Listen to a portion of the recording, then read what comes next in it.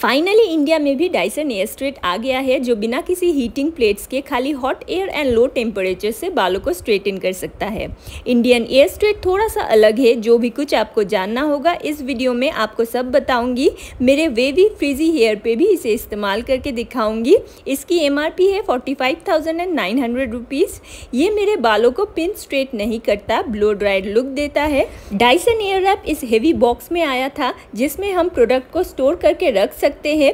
एक cleaning brush भी है, पर डाइसन एयर स्ट्रेट खाली कार्डबोर्ड बॉक्स में आता है। कोई क्लीनिंग ब्रश भी नहीं है। इसके साथ दो साल की वारंटी एंड इंस्ट्रक्शन मैनुअल आता है। पर full instructions my Dyson app में ही मिलेगा। एक हीट रेजिस्टेंट मैट दिया है, पर ये स्ट्रेटनर बहुत ज़्यादा गर्म नहीं होता। एंड तीन सेकेंड्स अगर इस्तेमाल ना करो तो ये अपने आप ही एयर फ्लो ऑफ़ कर देता है। तो हीट मैट के बिना भी ये कहीं भी सेफली रख सकती हूँ। डाइसन डॉट इन पे टेन डेज़ रिटर्न पॉलिसी है एंड मिंत्रा पे फोर्टीन डेज़ रिटर्न पॉलिसी ये जगह थोड़ा सा गर्म होता है, पर नॉर्मल स्ट्रेटनर के जितना नहीं। यहाँ पे कोई भी स्ट्रेटनिंग प्लेट्स नहीं है। ये इस टाइप के बड़े वाले अडेप्टर के साथ आता है, क्योंकि हमें इसे गीले बालों पे इस्तेमाल करना है। यहाँ पे एक सेफ्टी दिया गया है। ब्लैक वाला रीसेट बटन है एंड येलो वाला टेस्ट बटन तो पहले रीसेट दबा के टेस्ट बटन दबाना है फिर से रीसेट दबा के इस्तेमाल करना है। रीसेट बटन प्रेस्ड ही रहेगा। अगर आपको रीसेट बटन पे रेड सर्किल या रेड लाइट दिखाई देता है ये प्रोसेस फिर से करें।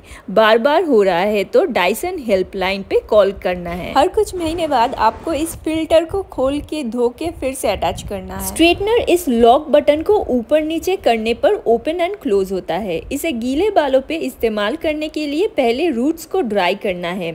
उसके लिए इसे पहले ऑन करना है। इसे ऑन करने पर कुछ सेकंड्स के लिए ये अपने आप क्लीन होगा। फिर इस बटन से वेट मोड सिलेक्ट करना है।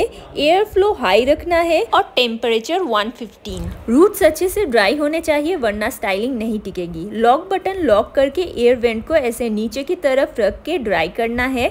इधर मैं बता दूँ कि आपको अगर बेटर फिनिशिंग चाहिए तो रूट्स को ऐसे थोड़ा हीट देना पड़ेगा। पर मैं कोल्ड एयर से ही अपने रूट रूट्स ड्राई करती हूँ। रूट्स पे हीट लगाना मुझे बिल्कुल नहीं पसंद।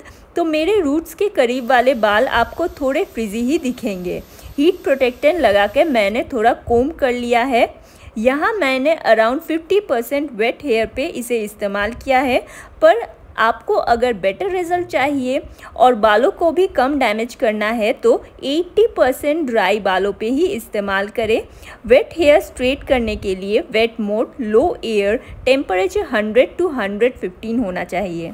मैंने पहले 100 ट्राई किया था, ज़्यादा गीले बालों की वजह से बहुत बार रिपीट करना पड़ रहा था तो मैंने 115 में चेंज किया। टोटल दो बार हीट से स्ट्रेटन किया। फिर ये कोल्ड बटन सिलेक्ट करके दो बार कोल्ड एयर से सेट किया। बार बार आपको पूरा सेटिंग नहीं चेंज करना है, खाली कोल्ड बटन को ऑन ऑफ़ करना है।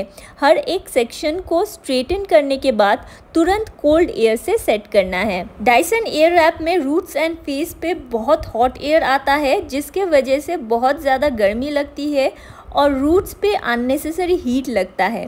एयर स्ट्रेट का वेंट नीचे की तरफ़ होने पर वो दिक्कत नहीं आती फेस या रूट्स पे हीट नहीं लगता। ड्राई हेयर को स्ट्रेटन करने के लिए dry mode low air flow and boost mode select करना है।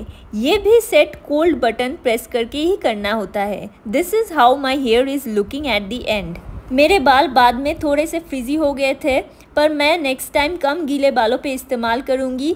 एयर रैप भी बहुत ज़्यादा गीले बालों पे अच्छे से काम नहीं करता। इस्तेमाल करते करते हर कोई बेटर होता है। जैसे अब मेरे डाइसन एयर रैप से किए गए कर्ल्स एक हफ़्ता टिकता है। अगले दिन मेरे बाल ऐसे दिख रहे थे। रात को मैं लूज चोटी बना के सोई थी तो उनके भी डेंट्स है। सीरम मैंने ये लगाया था। Hope you enjoyed watching this video please don't forget to like share and subscribe